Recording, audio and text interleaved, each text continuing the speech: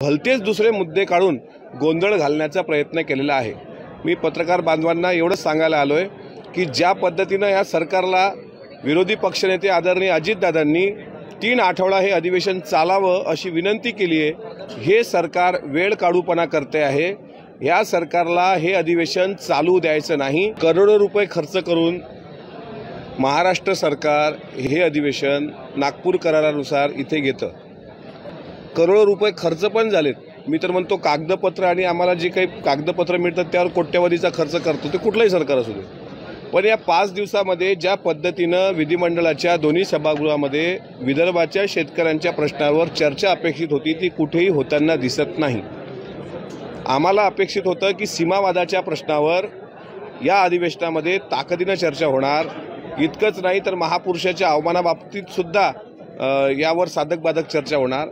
आणि विदर्भाचा शेतकरी मग तो नागपूर विभागामधला काटोल नरखेड या भागातला मोसंबी शेत किंवा संत्रा उत्पादक शेतकरी असेल किंवा अमरावती जिल्ह्यामध्ये वरुड मोर्शी भागातील संत्रा उत्पादक शेतकरी असेल यावर कुठेही विधिमंडळात चर्चा झाली नाही. आणि ज्या ज्यावेळी आम्ही चर्चा करण्याचा प्रयत्न केला त्या त्यावेळी विरोधकांनी भलतेच दुसरे मुद्दे काढून गोंधळ घालण्याचा प्रयत्न केलेला आहे. मी पत्रकार बांधवांना एवढंच सांगायला आलो आहे की ज्या पद्धतीनं या सरकारला विरोधी पक्षनेते आदरणीय अजितदादांनी तीन आठवडा हे अधिवेशन चालावं अशी विनंती केली आहे हे सरकार वेळ काढूपणा करते आहे. या सरकारला हे अधिवेशन चालू द्यायचं नाही. विदर्भाच्या शेतकऱ्यांचे प्रश्न ऐरणीवर येऊच नयेत अशी व्यवस्था या सरकारने केलेली आहे. आठवडा पहिला संपलेला आहे. पुरवणी मागण्या मंजूर झालेल्या आहेत आणि फक्त विरोधी पक्षाचा प्रस्ताव किंवा दोनशे साठद्वारे जी काही चर्चा असेल अल्पकालीन चर्चा यावरच आता दोन तीन दिवस थातूरमातूर आंदोलनाचा एक हे केला जाईल. आमदार निवासामध्ये काय अवस्था होती हे स्वतः मी तुम्हाला व्हिडिओच्या माध्यमातून दाखवलं. ज्यूस सेंटरच्या मागे कशा पद्धतीनं फळाचे ज्यूस आता आमदार लोक घेतात त्यावर आता एक वृत्तवाहिनींनी एक व्हिडिओ प्रकाशित केला. म्हणजे कोट्यवधीचं टेंडर कंत्राटदाराला द्यायचं इथं जेवणाची व्यवस्था नसणे ठीक आहे.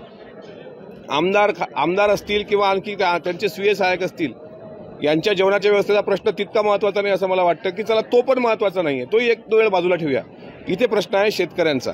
जर हे अधिवेशन शेतकऱ्यांच्या विषयावर केंद्रित झालं नाही तर या अधिवेशनाला काही अर्थ नसेल. तात्पर्य या तुमच्यासमोर बोलण्याचं एकच की हे अधिवेशन केवळ आणि केवळ आमदारांनी यावं मौज मजा करावी आणि इथली संत्रा बर्फी घेऊन बायका पोरांची तोंड गोळ करावी. या पलीकडे या अधिवेशनात काहीही नाही. माझ्या मा आज शेतकरी दिवस आहे पण या बळीराजाला अजूनही या सरकारने दिलासा दिलेला नाही. हे सरकार दिलासा देणार की नाही याबद्दल साशंकता आहे. म्हणून या सरकारने या अधिवेशनामध्ये जो वेळ काढूपणा केला त्याचा मी धिक्कार करतो.